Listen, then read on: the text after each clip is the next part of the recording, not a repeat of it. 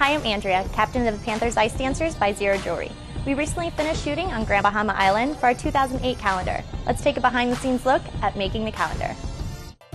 The Westin and Sheraton Grand Bahama Island Our Lucaya Resort graciously hosted us for our three day visit. The lush grounds of this spectacular beachfront resort provided the perfect backdrop for our beautiful girls.